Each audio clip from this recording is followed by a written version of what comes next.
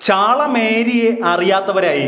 ഇപ്പോൾ മലയാളി സിനിമാ പ്രേക്ഷകർക്കിടയിൽ ആരും ഉണ്ടാകില്ല. ചാളമേരി എന്ന മോളി കണ്ണമാലി സിനിമയിലും സീരിയലിലും ഒക്കെ പ്രേക്ഷകരെ ചിരിപ്പിക്കുമ്പോഴും തോരാത്ത കണ്ണീരുമായാണ് എന്ന് ജീവിക്കുന്നത്. രണ്ടു മുറി വീട്ടിൽ പത്ത് പേരുമായി വീർപ്പുമുട്ടി ജീവിക്കുന്ന മോളി കണ്ണമാലിയുടെ ദുരവസ്ഥ ഇതിനകം തന്നെ മാധ്യമങ്ങളിൽ വന്നതാണ്. എറണാകുളം കണ്ണമാലിക്കടുത്ത് പുത്തൻതോട് പാലത്തിനടുത്തുള്ള വൃത്തിഹീനമായ പരിസരത്ത് ഒരു ഷീറ്റ് മറച്ചു കിട്ടിയ വീട്ടിൽ താമസിക്കുന്ന മോളി കണ്ണമാലിയുടെ അവസ്ഥ ആരെയും ഞെട്ടിക്കും. അടുത്തിടെ ഹൃദയ സംബന്ധമായ അസുഖവും ബാധിച്ച് പ്രതിസന്ധിയിലായി പോയ മോളി ചേച്ചിക്ക് ഒടുവിൽ ഒരു കൈത്താങ്ങായി ചലച്ചിത്ര താര സംഘടനയായ അമ്മ തന്നെ എത്തിയിരിക്കുകയാണ്.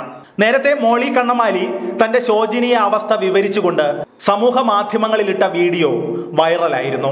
ഇത് ശ്രദ്ധയിൽപ്പെട്ട മോഹൻലാൽ നേരിട്ടിടപെട്ടാണ് ഇപ്പോൾ മോളി കണ്ണമാലിക്ക് അമ്മ മുൻകൈയെടുത്ത് ഒരു വീട് പണിത് നൽകാൻ തീരുമാനിച്ചിരിക്കുന്നത്. മലയാളം ചലച്ചിത്ര താര സംഘടനയായ അമ്മയുടെ നിലവിലെ പ്രസിഡന്റ് കൂടിയായ മോഹൻലാൽ ഉടനെ തന്നെ മോളി കണ്ണമാലിയുടെ വീട് സന്ദർശിക്കുമെന്നും വാർത്തയുണ്ട്. അമ്മയുടെ സ്നേഹ സമ്മാനമായി മോളി കണ്ണമാലിക്ക് സമ്മാനിക്കുന്ന വീടിന്റെ പണി ഉടനെ ആരംഭിക്കുമെന്നാണ് അറിയുന്നത്.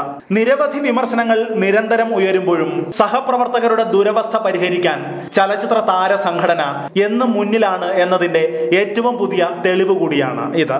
മോളി കണ്ണമാലിയുടെ മകനും കുടുംബവും ഇപ്പോൾ ഒരു ഷെഡിലാണ് അന്തി ഉറങ്ങുന്നത്. വെള്ളപ്പൊക്ക കാലത്ത് വെള്ളം കയറി ആകെ തകർന്ന് വൃത്തിഹീനമായ അന്തരീക്ഷവുമായി പകർച്ചവ്യാധികളുടെ ഭീഷണിയുമായാണ് ഈ കുടുംബം ഇപ്പോൾ താമസിക്കുന്നത്. ഈ വിഷയത്തെക്കുറിച്ച് നിങ്ങൾക്കും പ്രതികരിക്കാം. നിങ്ങളുടെ കമന്റുകൾ ഈ വീഡിയോയ്ക്ക് താഴെ രേഖപ്പെടുത്തൂ.